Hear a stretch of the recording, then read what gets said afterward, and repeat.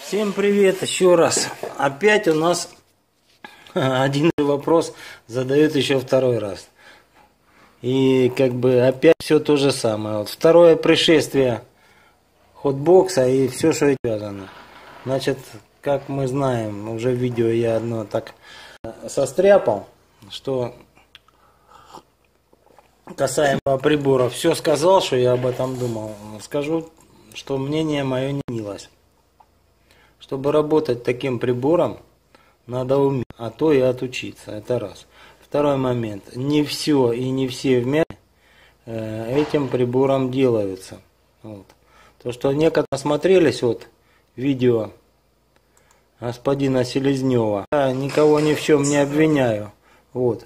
И обвинять не хочу. И э, люди подумали, что купив такой прибор, они смогут без вот таких вот инструментов, вот, без вот этого всего, вот, не обучаясь, не имея даже там простейших как лампочек. То есть берем этот прибор, проводим над вмятиной, ну это тупость людская, или жадность, или глупость, я не знаю, что сыграла роль.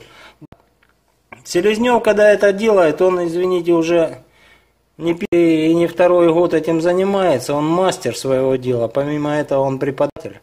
Вот. И как бы о чем можно говорить? Человек на своем, он знает, что он делает. И он показывает э, возможности этого прибора в лучшем виде, потому что его надо продать.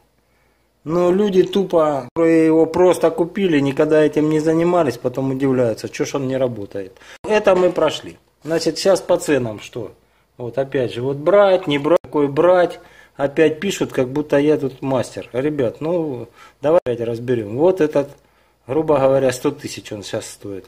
Раньше он там когда вот у нас прошел град в мае, это было 14 мая, побило много машин, у нас на Калмингруппе, потом во Владикавказе прошел град, ну не град, а камнепад.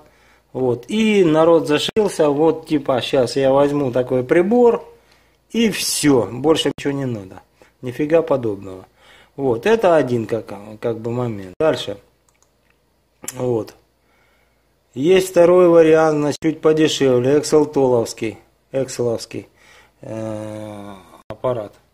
Он стоит что-то в районе там, в предыдущем видео, смотрите, если что, в районе 1000 евро или 800 евро, ну что-то такое. Вот, э, сейчас смотрим.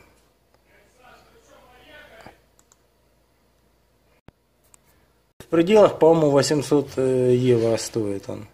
Дальше, значит, э, смотрим, вот китайский, вот такой. Он стоит там подешевле. Потом еще вот есть такой, альбатрос. Вот, вот такой вот. Простейший аппарат, тоже как бы тут э, регулировка. Всего лишь одна. Вот, им можно делать, то есть много. Но я повторюсь, ребят, мое мнение, вот, смотрите, перепитесь с людьми. Аппаратов уже много, сейчас выбор очень большой. Можно в Китае пить, там, в Испании, в Голландии, где угодно. Во Франции вот Exceltol, вот, э, делают их, но им надо уметь работать. Если вы не умеете работать, не имеете это, работы этими всеми аппаратами. Точно так же ремонту вмятин нельзя научиться за день. Вот. И потом всю жизнь работать, этим заниматься. Поэтому я еще раз вам повторю, что если хотите, покупайте. Но как бы мнение, вот лично мне, он не нужен. Если этот приборчик как бы стоил, ну скажем так, 15-20, ну, я бы еще, может быть, рассматривал бы, потому что в некоторых моментах он как бы мне пригодился. И помимо ремонта вмятина, пригодился бы при рихтовке, где-то там что-то подогреть, огреть, там какой-то болтик, гаечку отвинтить. Но это не предмет первой необходимости, чтобы за него отдавать, допустим, 100 тысяч.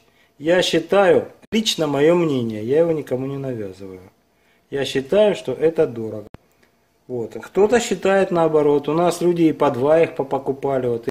Ребята работают э, вдвоем на станции. э, на одной станции нашего города. Вот у них у каждого свой купили. Ну ничего. Люди работают и радуются. Другие говорят, ну как бы, купили, попробовали, потом, слава богу, вовремя продали. Ну, в общем, сколько людей, столько и мнений, но лично свое мнение я высказал, что вот уже появился ассортимент, уже появилась как бы конкуренция. Кто что хочет, тот пусть и делает выводы. Брать или не брать, я тут не скажу. Лично мое мнение, пока что за такую цену такой прибор мне не нужен.